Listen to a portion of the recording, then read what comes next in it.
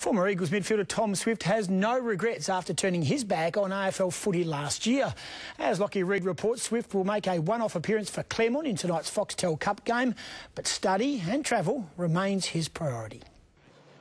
For the first time in years, footy will come a distant second to study for Tom Swift. On a day where he'll wrestle with two university exams, in just under an hour, the former Eagle will stride onto Patersons Stadium with no expectations it actually fits in quite well with me, to be honest. Um, it's a good stress relief after the exams. Swift's return to the sport as a Tiger to be brief. The books remain the burning passion. The midfielder announcing his AFL retirement at the end of 2012. His decision at age 22 catching most off guard. I'm stoked. I'm, I guess I wouldn't say I'm any happier than I was before, but I'm very, very satisfied in where I'm at at the moment and definitely no regrets with what I've done. Um, you know, I'm loving my lifestyle at the moment and everything I'm doing and the opportunities I've got outside of football. The Sherrin traded for study, Swift immersing himself into a commerce degree with medicine or engineering the aim.